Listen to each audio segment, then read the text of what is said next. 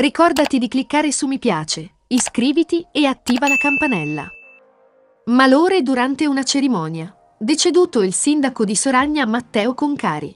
Matteo Concari, 45 anni, imprenditore ed ex assessore, è stato eletto nel settembre 2020, succedendo a Salvatore Iaconi Farina. Il primo cittadino, domenica mattina, stava partecipando ad una cerimonia a Salsomaggiore, davanti alle terme. All'improvviso è stato colpito da un malore.